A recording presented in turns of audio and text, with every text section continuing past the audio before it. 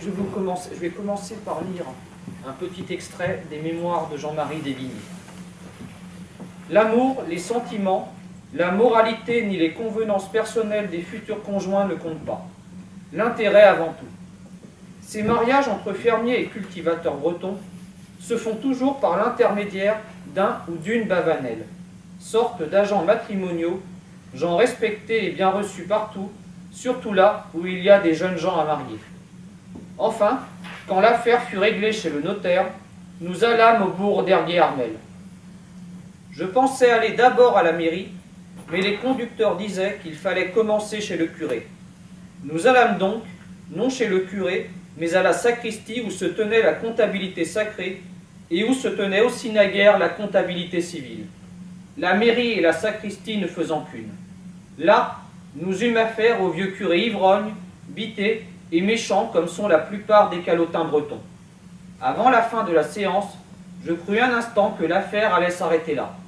En effet, il est de mode chez les curés bretons de faire réciter aux futurs conjoints quelques articles du catéchisme que tous ont oubliés depuis longtemps. Le vieil ivrogne s'adressa d'abord à moi, me demandant si je savais mon catéchisme en breton, bien entendu. Voyant que j'avais affaire à une brute insolente, je lui répondis Oui, certes, je connais mon catéchisme en breton et même en plusieurs autres langues, mais ne croyez pas que je vais vous rabâcher ces absurdités. Je ne pus aller plus loin, car à ces mots, l'ivrogne tressauta, comme s'il eût été piqué par un serpent, et se mit à vociférer comme un fou furieux. Il tenait dans sa main le papier où il avait gribouillé nos noms, et faisait le geste qu'il allait le déchirer. Je vais vous parler aujourd'hui de Jean-Marie Desguigné, un écrivain breton du XIXe siècle. En 1979, l'association de recherche Arcae de la commune d'Ergué-Gabéric, Finistère, près de Quimper, est créée dans le but de collecter la mémoire de cette petite ville. Elle découvre, dans un bulletin de la Société archéologique du Finistère de 1963, un article de 50 pages consacré aux contes et légendes de la Cornouaille bretonne, rapporté par un certain Jean-Marie Desguigné, 1834-1905. Vous avez ici Jean-Marie Desguigné à l'âge de 40 ans. Louis Augès, l'auteur de cet article, nous apprend que ce personnage aux opinions tranchées a écrit le récit de sa vie dans 26 cahiers de 100 pages. Archaï poursuit ses recherches. Dans un numéro de la Revue de Paris, revue fondée en 1894, elle découvre, dans la publication de décembre 1904, une partie des mémoires de Jean-Marie Desguigné. Anatole Lebras, écrivain, est à l'origine de cette publication. Les 130 pages de la Revue de Paris étaient consacrées à ses campagnes militaires. Restait pour Archaï à retrouver les autres écrits. Un appel est lancé. Finalement, les manuscrits sont retrouvés dans un HLM de Quimper. 43 cahiers, soit 4000 pages, sont photocopiés, dont 24 cahiers, 2584 pages, sont consacrés à ces mémoires. Le reste traite de politique, de philosophie ou de mythologie. Surprise, ces écrits sont différents de ceux publiés dans la Revue de Paris. En 1897, Anatole Lebras rencontre Desguigné à Quimper. Il lui offre 100 francs en lui promettant d'éditer son manuscrit. Mais Desguigné, ne voyant rien venir, décide de réécrire intégralement le récit de sa vie. Ce sera seulement en décembre 1904, sept ans après leur rencontre, que la Revue de Paris commencera à publier les premières pages de ses mémoires. On ne sait pas pourquoi. La publication de la Revue de Paris est précieuse, car c'est le seul texte que l'on possède sur les premières années de Jean-Marie. Restait à mettre ses écrits à la disposition du public? Desguigné écrit dans un français cousu de bretonisme, émaillé de citations en latin espagnol et italien. les expressions populaires abondent. À partir du neuvième cahier, les digressions sont de plus en plus nombreuses sur la vie politique, l'anticléricalisme ou les invectives contre ses ennemis. Il fallait faire une sélection. Le livre propose une continuité des aventures de Déguigné. C'est un témoignage rare sur le monde rural du XIXe siècle. Un témoignage émanant directement d'une personnalité modeste, loin des écrits des intellectuels comme Lebras qui ont magnifié la tradition populaire. Ce sont les écrits d'un écorché vif. Jean-Marie Desguigné naît le 19 juillet 1834 à Ganga dans le Finistère, entre Quimper et Douarnenez dans la Bretagne bretonnante. C'est le fils de Françoise-Louise Lequéré et de François-Marie Desguigné, cultivateur. Ils auront ensemble cinq enfants, dont deux mourront en bas âge. Deux mois plus tard, ses parents sont obligés de quitter la ferme qu'ils exploitent, étant dans l'incapacité de payer le fermage. Ils trouvent refuge dans un taudis de Quimper où il reste deux ans. Le petit Jean-Marie est constamment malade. Son père ne trouve pas de travail en ville. À Ergué-Gabéric, près de Quimper, il trouve à louer un penti, chaumière d'une pièce où s'entassent habituellement les journaliers. Il travaille à la journée chez les fermiers où il gagne de 8 à 12 sous par jour. Vous avez ici un paysage rural traditionnel. John Constable, La charrette de foin, 1821. En hiver, il fait des fagots de bois ou de lande. Sur le terrain attenant à la chaumière, il fait pousser des pommes de terre rouges, principale nourriture des pauvres. En 1839, Jean-Marie perd un de ses frères et une sœur que son père avait eue d'un premier lit. Jean-Marie dit que son père et sa mère avaient l'air d'être contents. Ils auraient deux anges dans le ciel qui prieraient pour la famille. Un petit frère et une petite sœur ne tardèrent pas à venir. Déguigné parle ensuite d'un coup à la tête qu'il reçoit alors qu'il garde les abeilles. Il reste quatre jours dans le coma et guérit en trois semaines. Il gardera longtemps de cet accident une large cicatrice dans sa tempe gauche. Pour Déguigné, cette mésaventure a été providentielle, car elle a contribué, selon lui, à développer ses facultés mentales de façon extraordinaire. Après la guérison, il retourne à ses activités habituelles. Son père travaille à la papeterie Bolloré à Ergué-Gabéric en hiver et au printemps. L'été, il participe à la moisson du seigle et de l'avoine. Le battage se fait au fléau. Au moment de rentrer les céréales, il met les gerbes en meule ronde, spécialité où il est très apprécié.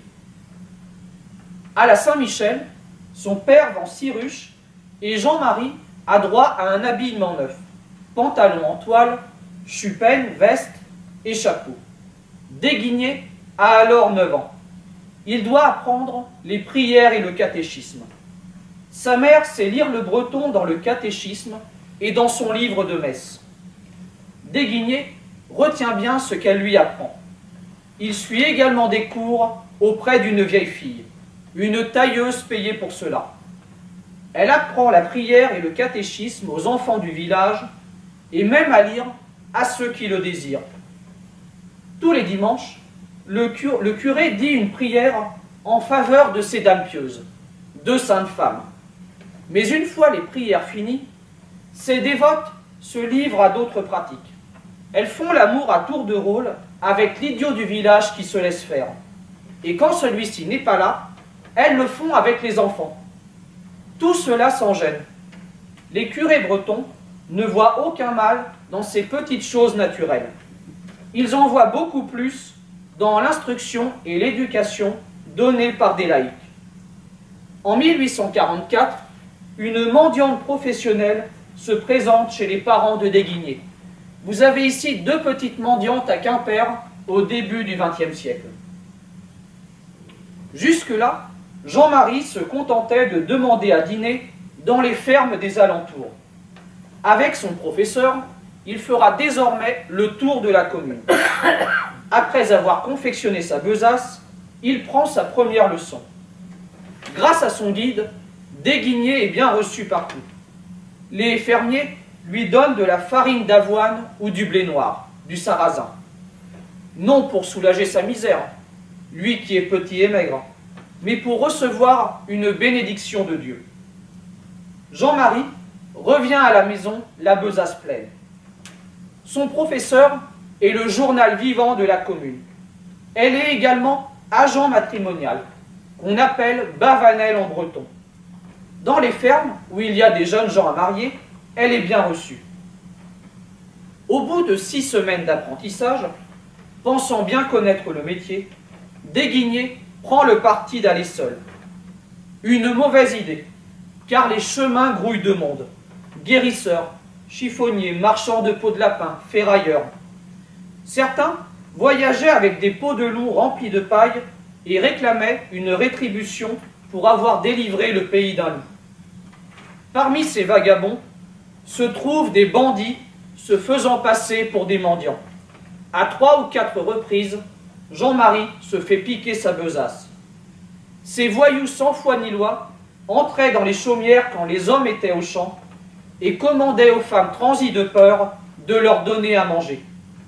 Une société s'était spécialisée dans le vol de bœufs ou de chevaux. Elle avait des agents partout. Les vols de grains et d'instruments de labour étaient légion. Les fermiers et propriétaires étaient durs et méchants envers les gueux mais ils en étaient inondés.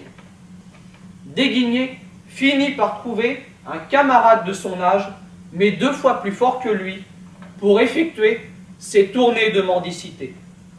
Il collecte également du bois mort, ramasse du crottin de cheval et de la bouse de vache desséchée qu'on brûle pour faire de la cendre. Très recherché en ces temps où les engrais et les phosphates étaient inconnus. En juillet 1845, un désastre survient. Les feuilles des pommes de terre noircissent à cause d'un champignon, le mildiou. Les tubercules pourrissent ensuite. Cette maladie causera une terrible famine en Irlande. La famille de Déguigné fut ruinée. Les mendiants doublèrent. Les riches cultivateurs, qui avaient été atteints eux aussi, ne donnaient plus que des aumônes insignifiantes. Les gens de la côte qui cultivaient une autre variété de pommes de terre furent moins éprouvés. On trouvait l'année suivante des pommes de terre à semer, mais à des prix inabordables. Le père de Déguigné sema du seigle. À la fin de l'année, la famille déménagera dans une autre petite maison. Jean-Marie a alors 12 ans. Il peut faire sa première communion. Les enfants vont au catéchisme tous les jours pendant les 15 jours qui précède la communion. Vous avez ici un tableau de Pascal Dagnan-Bouvray, Le pain béni, 1885. Les trois derniers jours, jours de retraite, sont consacrés à des prières à l'église, au chant et à la confession. Une soupe est donnée aux indigents. Les curés bretons accordent une très grande importance à cette cérémonie. Ceux qui ne savent pas leur catéchisme et leurs prières redoublent. Déguigné est cité en exemple. Sachant qu'il lit le breton, le curé lui donne un petit livre de messe. Toutefois, Jean-Marie commence à philosopher.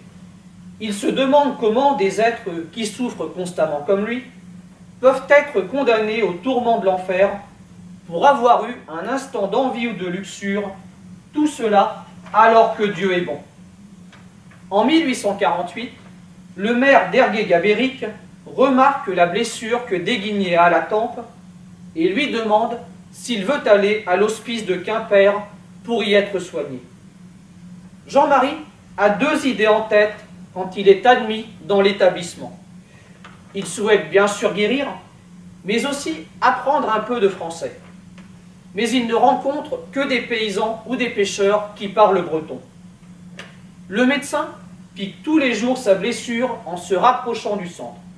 Il s'agit probablement d'une cautérisation au nitrate d'argent.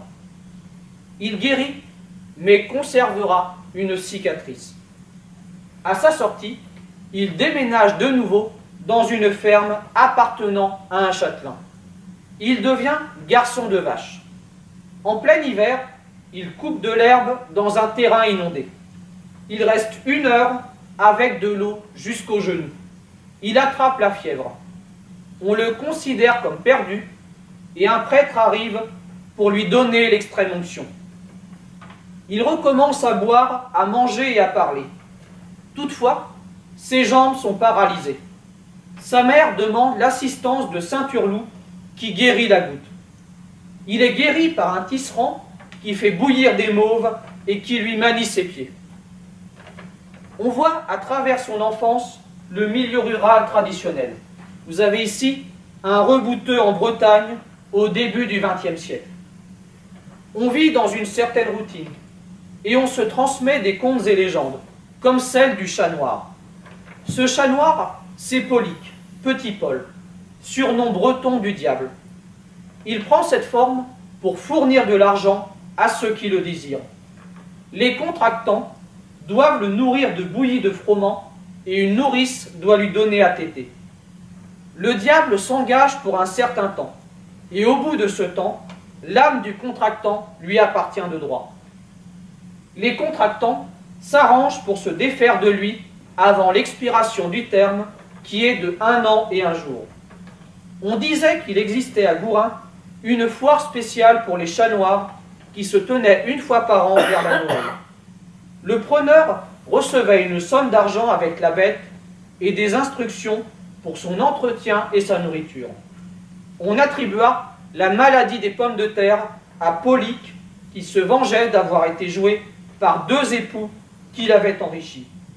Déguigné parle également des fêtes de la Saint-Jean, deux fêtes nocturnes, Saint-Jean et Saint-Pierre.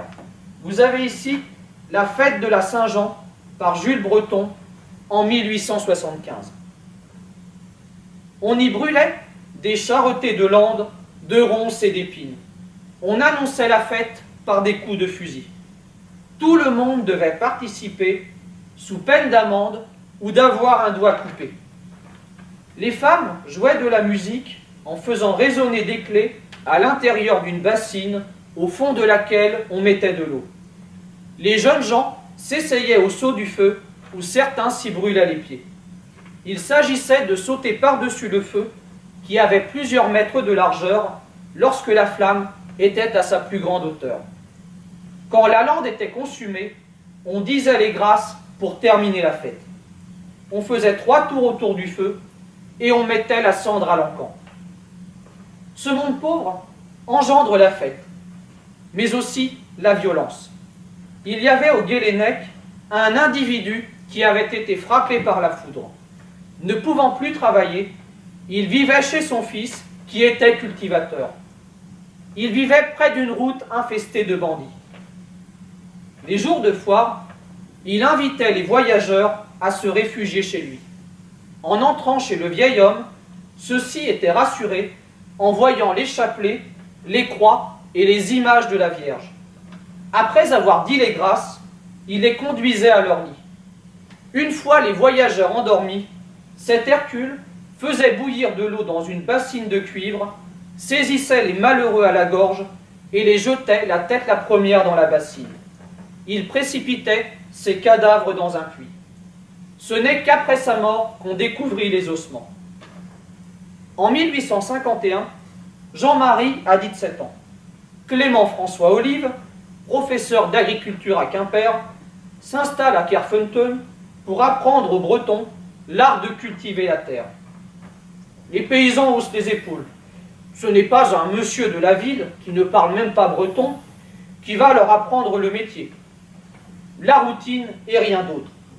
Mais Desguignets regarde avec intérêt les champs de trèfle, les gros choux et les instruments aratoires de cette ferme modèle. Une fois, voyant la porte de l'étable ouverte, il voit de belles vaches, bien grasses, aux gros pieds luisants. Elles avaient devant elles un râtelier et une mangeoire, chose inconnue dans les étables bretonnes. Un journalier voit Jean-Marie et lui demande s'il veut la place de Vacher qui est, qui est vacante. Vous avez ici un tableau de Rosa Bonheur, charrette attelée et Bouvier en Auvergne, 1889. Ils vont voir le maître, et Déguigné est embauché.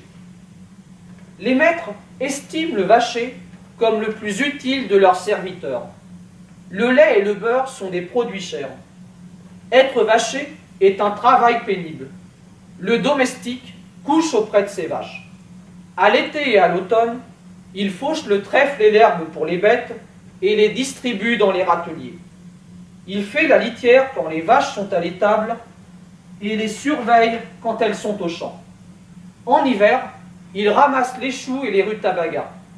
Il fournit de l'eau tiède et du foin des grandes meules. Toutes les semaines, les élèves du professeur viennent prendre des leçons pratiques à la ferme. Certains apprennent à soigner les vaches. Mais Déguigné est plus embêté qu'autre chose par leur présence. Toutefois, grâce à ses élèves, Jean-Marie apprend quelques mots de français. Il ramasse les bouts de papier que les étudiants font tomber et s'essaye à former des lettres alors qu'il garde les vaches. Il forme des A et des B grossiers en trouant le papier et tente de griffonner les mots vache ou chou. Un jour, la mère de la patronne le surprend dans cet exercice. Elle lui demande quelle école il a fréquenté. Quand Déguigné lui répond qu'il n'en a fréquenté aucune, elle décide de montrer ce travail à son gendre. Le professeur trouve extraordinaire d'apprendre à lire sans maître.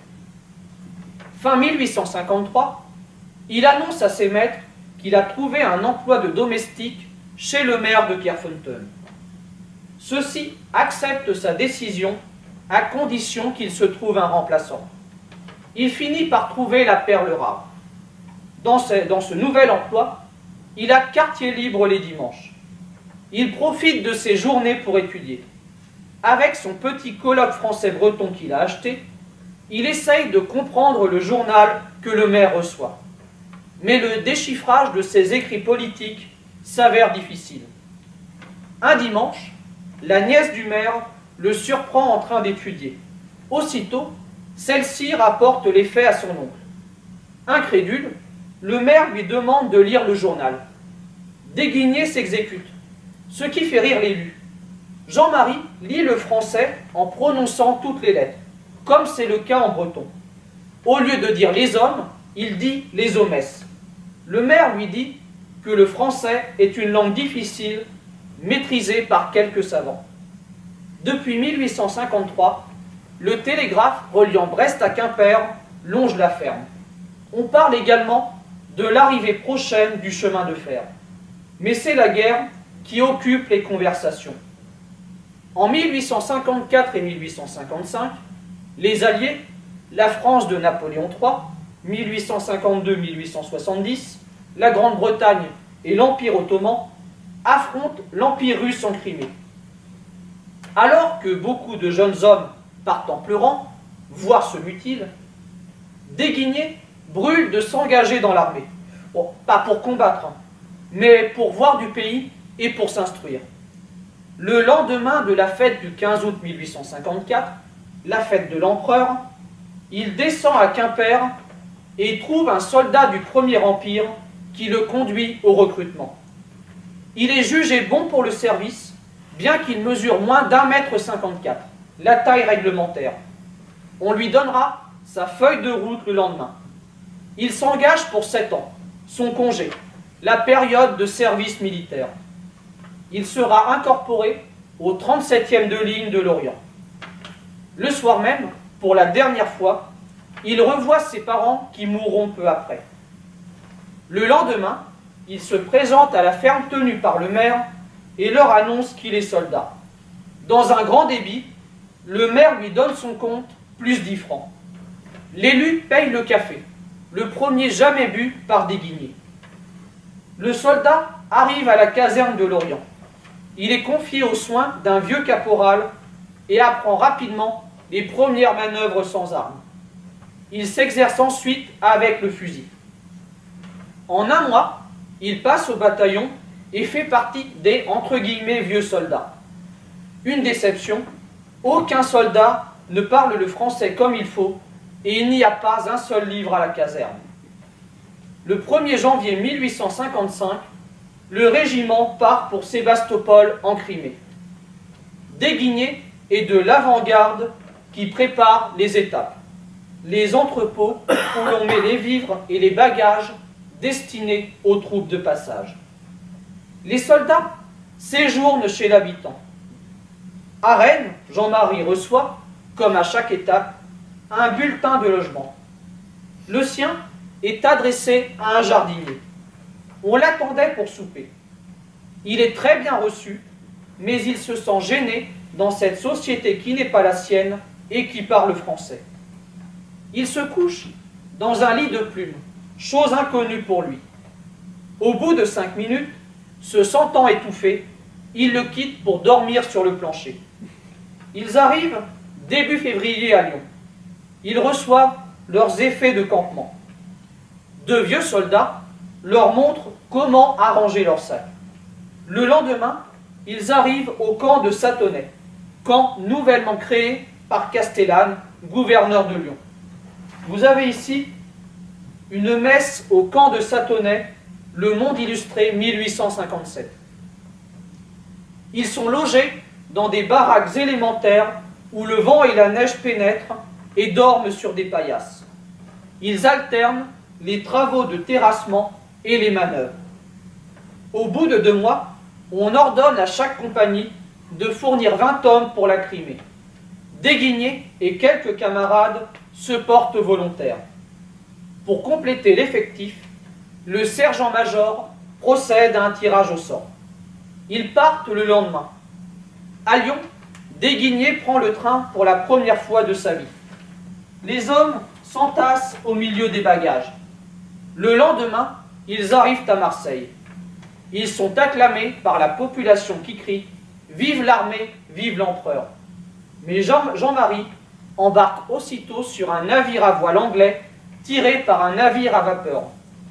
Il loue les sollicitudes des Anglais.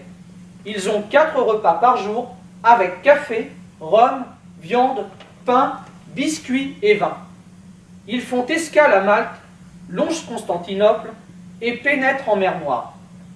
Déguigné et réveillé par les cris de ses camarades, ils voient des lignes de feu traverser l'air. Ils sont en vue de Sébastopol. Ils débarquent à Camiche et se placent par bataillon et compagnie. Ils se mettent en route. La terre tremble sous leurs pieds. Ils arrivent au camp. Avec cinq de ses camarades, déguignés et versés dans une escouade où il n'y a plus que quatre soldats, dont le caporal. Les vétérans racontent les hauts faits qu'ils avaient accomplis. Le bruit circule qu'une attaque se prépare pour le lendemain 8 septembre. Il s'agit de s'emparer de la tour Malakoff, clé de Sébastopol. Le jour prévu, Jean-Marie progresse dans les tranchées, tête baissée pour éviter la mitraille. La sonnerie de la charge retentit. Notre breton serre son fusil. Soudain, une clameur retentit. Le drapeau tricolore flotte sur la tour Malakoff. La guerre est finie. On se dit que Déguigné est sauvé. Il ne fera pas partie des 20 000 soldats français morts au combat. Mais ces pertes ne sont rien comparées à celles causées par ses autres ennemis que sont les maladies. 75 000 Français mourront du scorbut, de la dysenterie et du typhus. Jean-Marie, frappé lui aussi par un de ces maux, passe d'ambulance en ambulance, transporté dans une espèce de chaise en fer par un mulet. Il manque de succomber, mais s'en sort. Il rencontre un jeune caporal qui lui donne des leçons de grammaire, d'histoire et des notions d'arithmétique. Une fois rétabli, il se porte volontaire pour aller soigner les pestiférés. Arrivé à l'ambulance, un sergent demande à Déguigné de distribuer les lettres. Savoir lire l'a sauvé d'une mort certaine. Il n'existait pas de remède contre cette maladie.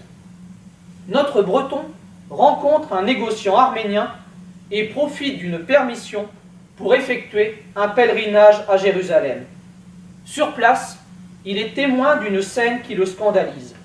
Les franciscains, qui ont bâti une grande maison près du jardin des Oliviers, montrent aux pèlerins la grotte de Gethsemane, le lieu d'agonie, la crise d'angoisse de Jésus. Dans ce sanctuaire, les chrétiens embrassent des taches rouges, le sang du Christ. Il s'agit en réalité de taches de vermillon répandues chaque matin par les moines. Jean-Marie perd définitivement la foi. Son journal sera dorénavant émaillé de purs propos de libres penseurs tels celui-ci. J'avais tourné les yeux de l'autre côté pour voir si j'aurais aperçu Béthanie, ce petit bourg où les bandits galiléens allaient souvent faire des pantagruéliques noces en compagnie de Madeleine, de Marthe, de Marie sa sœur, de Jeanne, de Suzanne et autres belles courtisanes de bas étage qui suivaient partout ces bandits noceurs. Il repart d'Orient et revient en France. En 1859, il est mobilisé lors de la guerre qui oppose la France, alliée au royaume de Piémont-Sardaigne de Victor Emmanuel, à l'Autriche de François-Joseph. Déguigné achète une grammaire franco-italienne. À Livourne, les Français sont acclamés par la population. La Toscane se soulève contre son duc, qui avait fait appel à François-Joseph pour lutter contre la Révolution. Après les batailles de Magenta et Solferino, auxquelles il ne participe pas, la paix est signée le 17 juillet à Villafranca. Vous avez ici la bataille de Magenta par Gerolamo Imbuno, tableau de 1861. La Lombardie est cédée à Napoléon III et la Vénétie au pape. Plus tard, Napoléon III remettra la Lombardie à Victor Emmanuel en échange de Nice et de la Savoie qui deviennent français en 1860. Un arrangement entre souverains qui fait bondir les patriotes italiens comme Garibaldi qui défendent l'idée d'une nation. Déguigné reste un an en Lombardie.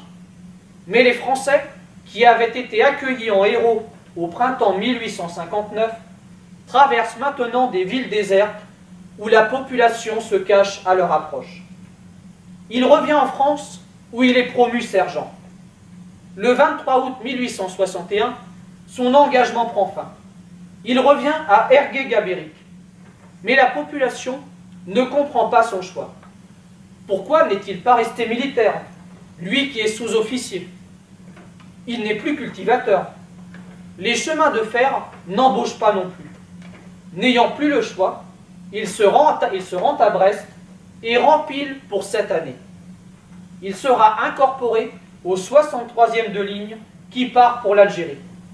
Il redevient simple soldat et touche un mandat de 1000 francs qu'il dépose à la caisse d'épargne de Quimper. Il débarque à Stora, en Algérie, pays que les Français occupent depuis 1830. Les soldats sont chargés de réprimer les révoltes des Kabyles. Ils sont protégés dans leur marche par les Goums, les cavaliers arabes. Déguigné dit, les Bretons comme les Kabyles ne se sont jamais soumis à leurs vainqueurs. Des fermes tenues par les colons français avaient été incendiés. Les Kabyles sont retranchés dans leurs montagnes. Les, paysans progressent dans les défilés où ils se font surprendre. Heureusement, les Kabyles sont mal armés. Une guerre atroce. Mourir d'une balle dans la tête n'est rien. Des deux côtés, les prisonniers subissent la vengeance de leurs vainqueurs qui leur font endurer les pires tortures la compagnie de Déguigné défend seule un petit fort. La campagne prend fin. Alors que le régiment se prépare à rentrer en France, on demande des volontaires, parmi les vétérans, pour se rendre au Mexique. En 1861, Juarez, président du Mexique, avait suspendu le paiement de sa dette pour deux ans. En 1862, les Anglais et les Français avaient débarqué.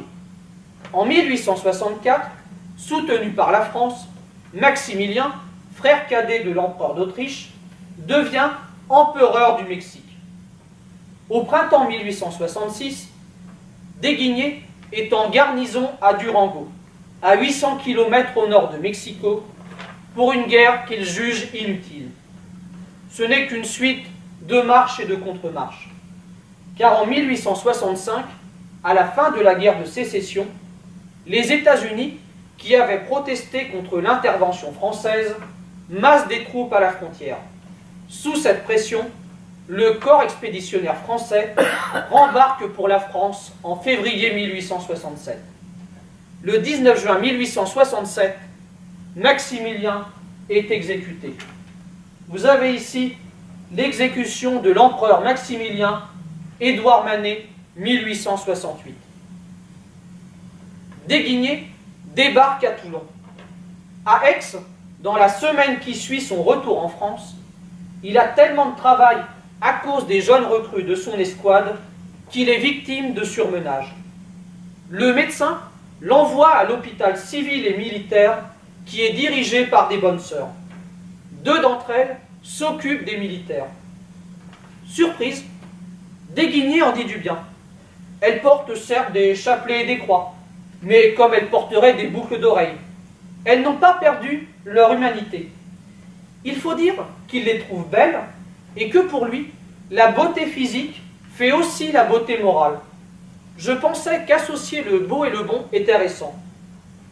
Le 11 septembre 1868, il arrive au bout de son second engagement. On refuse maintenant de rengager les serviteurs qui ont plus de 14 années de service. On supprime aussi les compagnies d'élite, grenadiers et voltigeurs. Il retournera dans son pays natal. Il va toucher 2500 francs de la caisse de dotation de l'armée et de la caisse d'épargne, 125 louis d'or, 4 ans de salaire d'un ouvrier qualifié. Il arrive à Quimper la veille du Grand Pardon, une fête religieuse, et débarque chez un débitant une vieille connaissance. Vous avez ici la rue du Chapeau Rouge à Quimper à la fin du XIXe siècle. Ce débitant a une fille à marier, et tout de suite, il veut l'offrir à Desguigné. Il faut dire que l'ancien soldat s'est montré généreux avec les gens qu'il a rencontrés. Mais un cultivateur propose à Jean-Marie d'accompagner celui-ci chez un de ses oncles. Son oncle et sa tante sont surpris de le voir débarquer à l'improviste.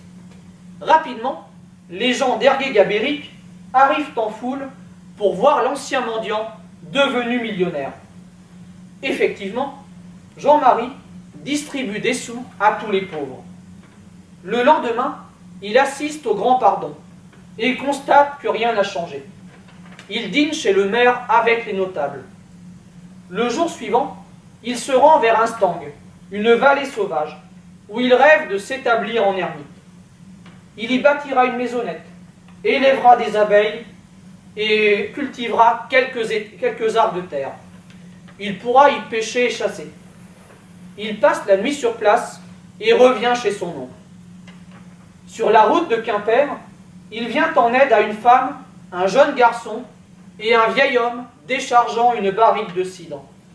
La femme qu'il connaît bien s'appelle Marianne Perron, née en 1825, fille de riches paysans mais dans, une situation précaire.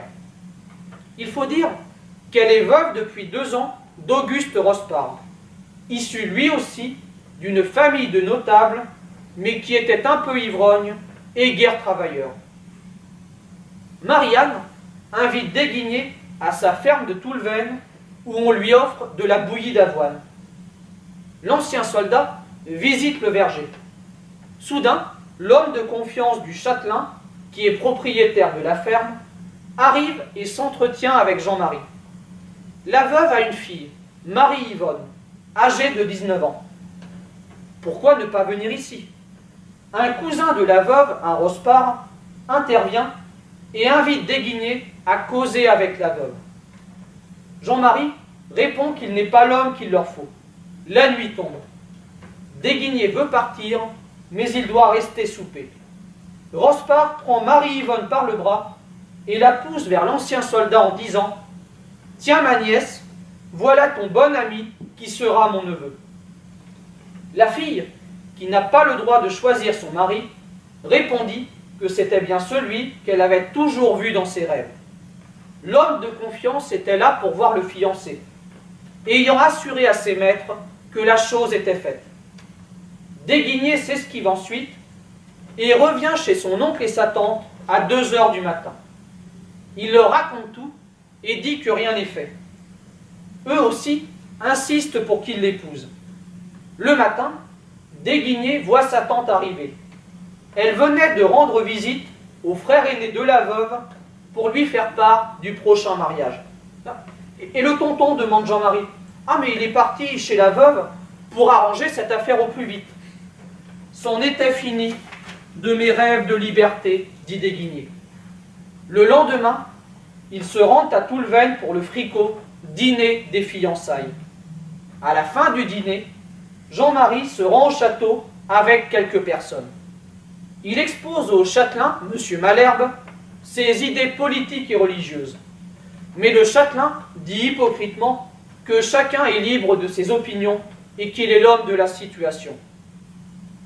On convainc qu'on se rendrait à la mairie et chez le curé le surlendemain, un samedi. Ce jour-là, il se rend d'abord chez le notaire, car il doit prendre la direction de la ferme. Il aura la charge de sa femme, de la veuve et de quatre enfants mineurs. Il devra donner à la veuve 1500 francs quand elle jugerait à propos de les donner et 400 francs à chacun des mineurs quand ils atteindront la majorité. Cela avait été arrangé par d'autres personnes. Tout est affaire d'intérêt. C'est l'extrait que je vous ai lu. Il se, querelle, ensuite avec le curé d'Erguy Armel. Mais un assistant parvient à raisonner le prêtre. Il passe ensuite à la mairie. Problème, il doit se confesser avant le mariage. Le vicaire d'Ergué-Gabéric le reçoit en le traitant d'hérétique et de franc-maçon. Le ton monte. Déguigné refuse de se confesser, mais le vicaire finit quand même par publier les bans, car le trésorier de la fabrique est là. C'est l'administration des fonds alloués à l'entretien d'une église. Et le prêtre n'ose pas aller trop loin en sa présence. Le curé d'Ergué-Armel sera obligé de célébrer la noce. Le 4 octobre 1868, a lieu le mariage civil, auquel les Bretons n'accordent aucune importance. Le mardi 6 octobre a lieu le mariage à l'église, suivi de deux jours de noces. À la fin de la fête, ils se rendent à la ferme. La maison est pleine de monde venu assister au coucher des nouveaux mariés. Vous avez ici une noce en Bretagne, Adolphe Leleu, 1863. Le moment arrive où il aurait fallu que Déguigné se déshabille et se mette au lit avec sa femme en présence de tout ce monde fou et ivre, en subissant toutes sortes d'agaceries et d'allusions grossières. Il profite d'un moment de brouhaha pour s'esquiver et se diriger vers la mer. Il s'endort. Il se réveille à l'aurore et regagne la ferme où tout le monde dort. Quand tout le monde fut parti, il emmène sa femme faire un tour à la mer, à l'endroit où il a passé la nuit. Il gagne un bois où il y a un kiosque. Il est subjugué par la beauté de sa femme de 19 ans, qu'il a à peine vue. Il se livre à l'amour vrai, sans honte, sans scrupule. Pour ces quelques heures de bonheur, il a pardonné à Marie-Yvonne toutes les douleurs dont il a été accablé plus tard. Mais rapidement, il revient à la réalité il va rénover et moderniser la ferme. Il remplace les bêtes de trait et les instruments aratoires. Il supprime les mares de la cour. Il nettoie aussi l'intérieur de la maison en supprimant l'auge encastrée. Il met surtout l'accent sur l'élevage. Pour avoir de bonnes vaches laitières, il entretient les pâturages et plante des racines fourragères. Il assèche même un marécage la plus grande pièce de la ferme. Il peut commencer le commerce du lait et du beurre. Il plante même du blé noir dans un champ autrefois envahi par les mauvaises herbes. Il crée aussi un jardin potager où poussent les carottes et les petits pois. Sa femme commence toutefois à abandonner les soins du ménage et cherche à paraître. Son oncle gendarme s'installe chez lui. Les élections législatives de 1876 arrivent. Vous avez ici un tableau d'Alfred-Henri Branteau, esquisse pour la mairie des Lilas, le suffrage universel 1889. En 1876, Déguigné milite pour le camp républicain. À Quimper, le député sortant est Augustin du Marnet, un monarchiste. Face à lui, Louis Aymon, avocat républicain. Les châtelains réunissent chez eux leurs fermiers et leurs ouvriers, auxquels ils donnent à boire et à manger à volonté. Mais beaucoup de paysans passent chez Déguigné après cette réunion. Jean-Marie leur distribue des bulletins au nom du candidat républicain, en leur recommandant de les cacher dans leur gilet, car le sire de Malherbe pourrait les fouiller. Le jour de l'élection, le sire de Malherbe arrive à l'auberge et offre à boire à ses gens. Ensuite, il les met en rang sur la route et donne à chacun un bulletin. Il ne les fouille pas. Il les conduit jusqu'au bureau de vote, marchant derrière eux pour les empêcher de prendre d'autres bulletins. Tous les châtelains faisaient de même, arrivant avec 50 ou 60 personnes. Déguigné est présent au dépouillement. La stupeur à Ergué Armel sur 334 votants. Dumarnay obtient seulement 33 voix et le républicain Aymon 300. Les cris Vive la République retentissent. Qu'en est-il dans les autres communes? Déguigné se rend à Quimper. Les résultats tombent. Louis Aymon récolte 5219 voix, son adversaire 3458. En France, les républicains obtiennent 360 sièges, les conservateurs 160. MacMahon, président de la République de 1873 à 1879, mais monarchiste, dissout la Chambre des députés. En 1877, les républicains obtiennent encore 327 sièges. MacMahon démissionnera en 1879 après le basculement du Sénat à gauche. Jules Grévy le remplacera. Un regret toutefois pour Déguigné, les républicains n'envoient pas les jésuites et les réactionnaires au bagne de Cayenne en Guyane. En 1879, un incendie détruit la maison de Déguigné. Les gendarmes enquêtent et découvre le criminel, un vieux mendiant. Jean-Marie dit que c'est un homme d'église qui ne fut pas inquiété de ce fait. Notre républicain est logé dans un vieux château. Vous avez ici une maison traditionnelle en Bretagne au début du XXe siècle. Chambre et étable commune. L'avantage, c'est que les bêtes permettaient de chauffer la pièce. Même le châtelain lui donne beaucoup de choses notre fermier continue son activité. À la Saint-Michel, en payant son avant-dernier terme, il demande au seigneur si le bail sera renouvelé. Le châtelain répond que probablement il ne pourrait plus s'arranger. Je vous engraisse depuis 15 ans et maintenant vous me chassez d'idées guignées. Vous auriez voulu aussi avoir ma conscience. Il part. Dans le courant de l'année 1883, les domestiques du château disent à Déguigné d'aller trouver le propriétaire qui désire lui parler. Monsieur Malherbe attend toujours une demande de Jean-Marie avant de louer la ferme. Mais Déguigné ne se jettera pas à ses pieds. À ce moment-là, il est victime d'un nouvel accident. Il passe sous une charrette. On le croit mort. Il s'en sort toutefois.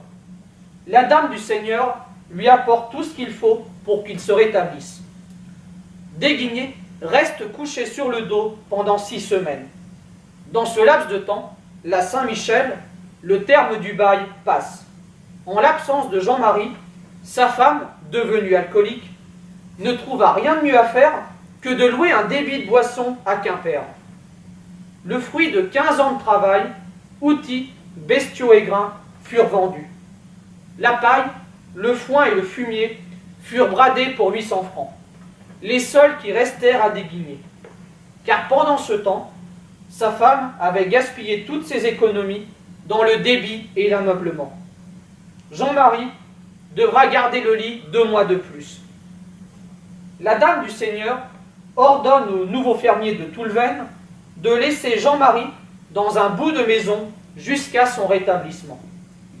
Jean-Marie, se sentant mieux, quitte la maison au bout de quinze jours.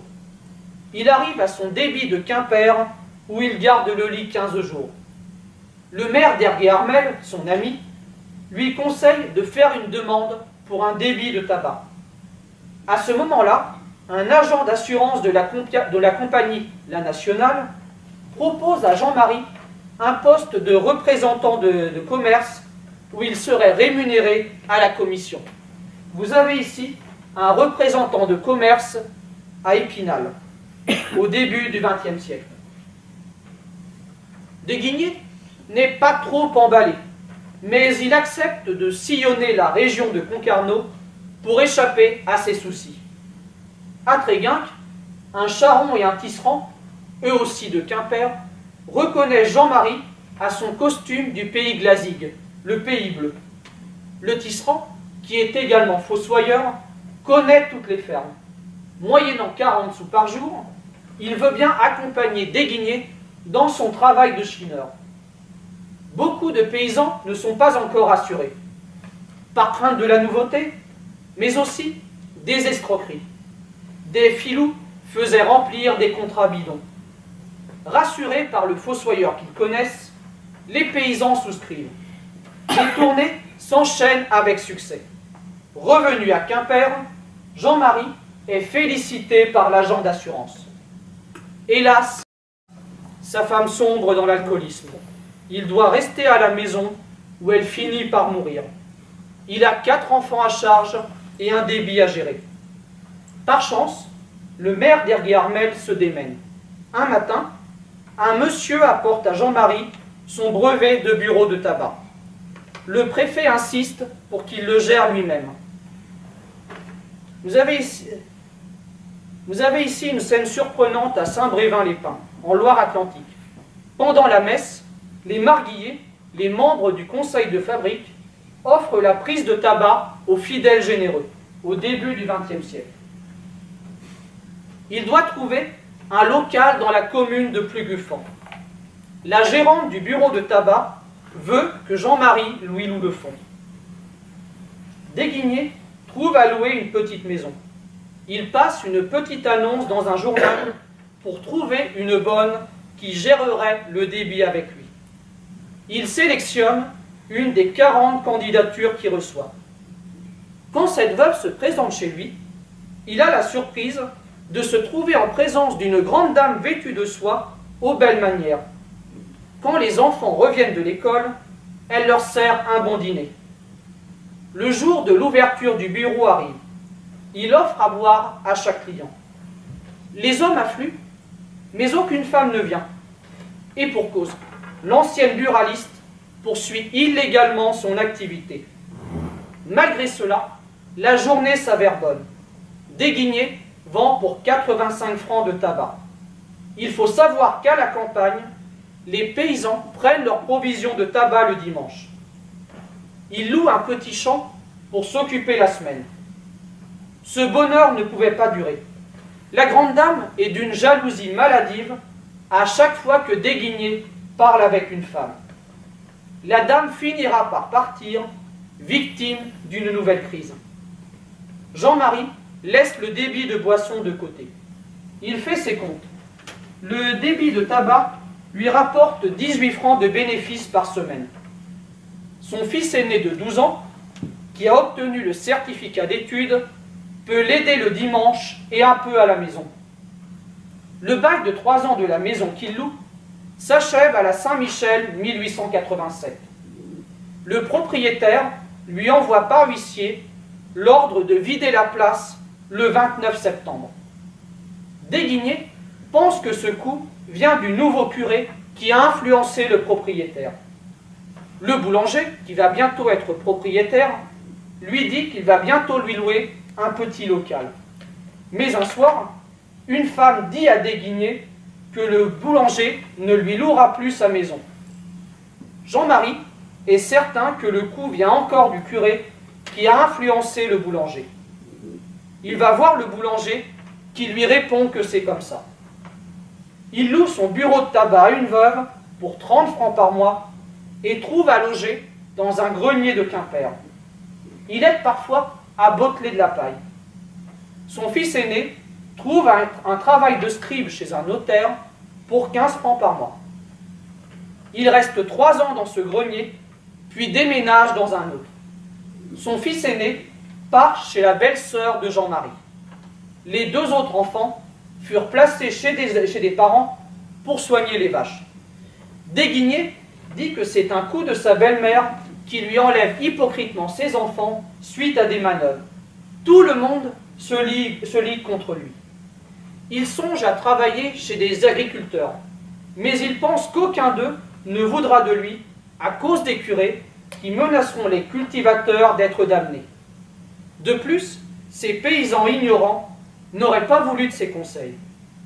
Ne trouvant pas d'occupation matérielle, il se met à écrire l'histoire de sa vie. Vous avez ici une femme écrivain public en Bretagne au début du XXe siècle.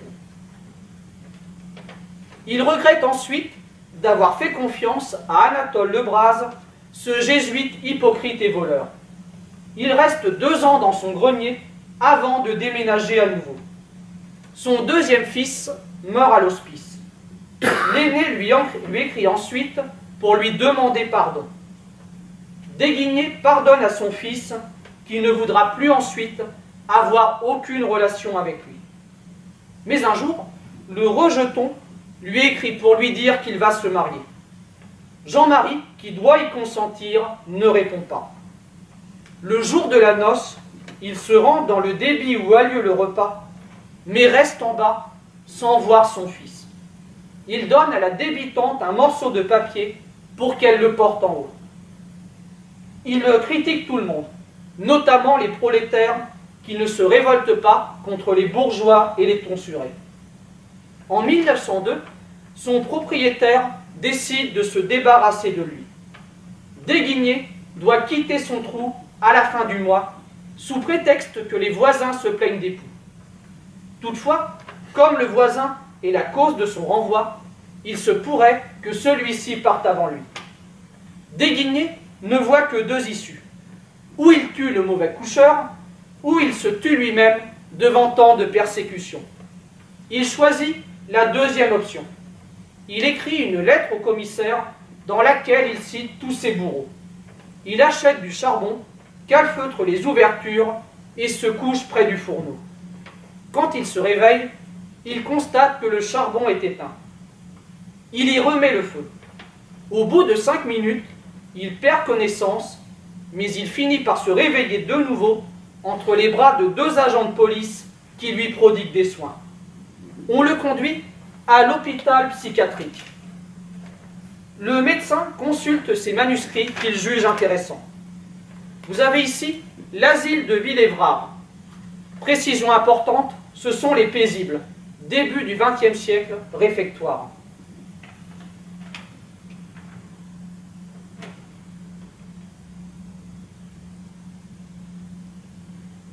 Ce docteur voudrait le garder. Il déclare Déguigné fou, atteint de manie de persécution.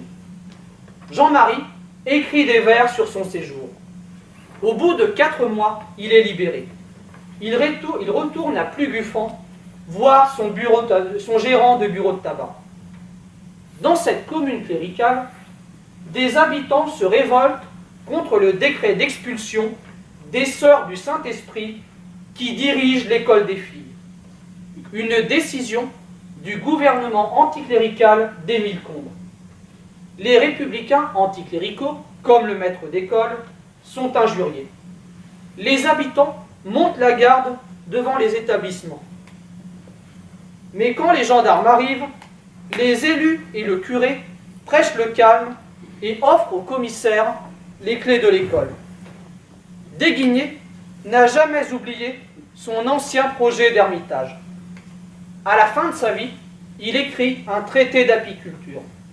En faisant cela, il répond aussi à un concours lancé par l'Union régionaliste bretonne qui récompense de 50 francs les meilleurs traités écrits en breton. Le, jury lui attribue une mention d'honneur. Ses écrits sont intéressants, mais son breton est mauvais, truffé de mots français, latins et italiens. En septembre 1904, il reçoit une lettre d'Anatole Lebras accompagnée d'un mandat de 100 francs. Lebras lui envoie ensuite le numéro 24 de la Revue de Paris, dans laquelle Desguigné voit son nom apparaître parmi les illustres écrivains. Son temps n'a pas été perdu. On parlera de lui dans son temps. Une seule chose l'inquiète, c'est que son cadavre devienne la proie des curés. Ainsi se terminent les mémoires de Jean-Marie Desguigné, ce document rare sur la société rurale du XIXe siècle. Des écrits émanant directement d'un paysan, loin des considérations des intellectuels comme Lebras, qui ont présenté cette époque comme un âge d'or. C'est le journal d'un écorché vif, atteint de délire de persécution. Il en veut aux nobles, aux politiciens, à Anatole Lebras, voleur de ses manuscrits. Ce bouffeur de curé, sensible aux thèses anarchistes et révolutionnaires, dérange, mais ne laisse pas indifférent.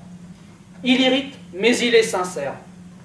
On voit à travers son témoignage l'évolution sociale et économique du monde rural au XIXe siècle.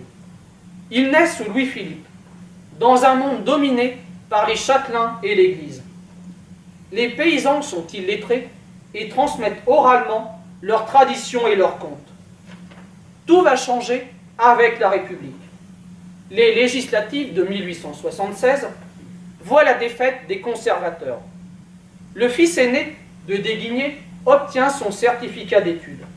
L'école est gratuite et obligatoire depuis 1881. Vous avez ici le tableau d'Albert Bétanier, La Tache Noire 1887. La Tache Noire, c'est l'Alsace-Moselle, province perdue en 1871. L'élève est en uniforme de bataillons scolaires qui ont duré de 1882 à 1892. L'élève modèle, derrière, porte la croix du mérite scolaire. Les fusils d'instruction sont rangés au fond. Le gouvernement Combe lutte contre les religieux qui dirigent les écoles. Desguigné meurt le 29 août 1905, trois mois avant la séparation de l'Église et de l'État, adoptée le 9 décembre 1905, une victoire posthume. Matériellement, il naît dans un monde paysan, régi par la routine, dans lequel on bat au fléau. On se soigne par l'intermédiaire de guérisseurs. Jean-Marie entre ensuite dans une ferme modèle. Le chemin de fer, le télégraphe réduisent les distances. La médecine officielle s'implante et les cultivateurs contractent des assurances. Les mémoires de Jean-Marie Desguigné rendent compte de la disparition des sociétés traditionnelles, de la fin des terroirs, expression et livre de l'historien américain Eugène Weber.